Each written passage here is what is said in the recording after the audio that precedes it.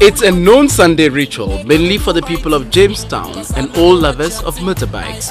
At the scheduled time, the usual crowd gathered for another enjoyable spectacle.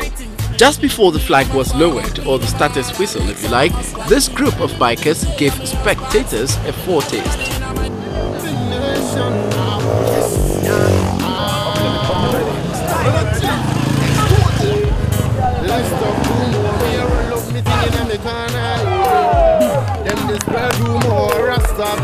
That was to signify the beginning of the risk riding. Things heated up when these riders joined the fray.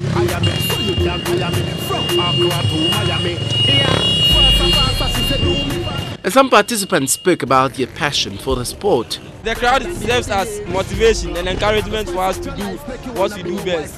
The only thing we need is to control the people on the crossing the streets.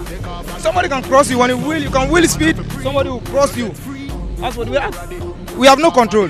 I feel like Sundays coming here, entertain myself, then go home. The spectators say it's always an afternoon well spent.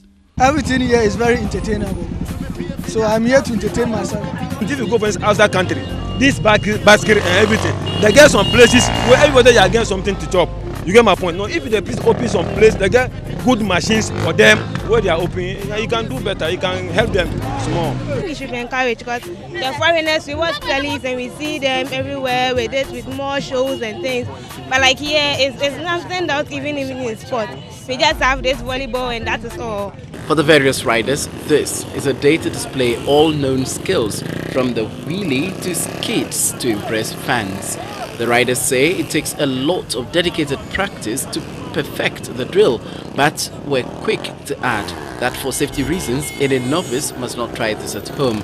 And so, for the people of this neighborhood, this is a good way to spend an afternoon showing off some riding skills to the admiration of your home crowd, even though there may not be a trophy at stake.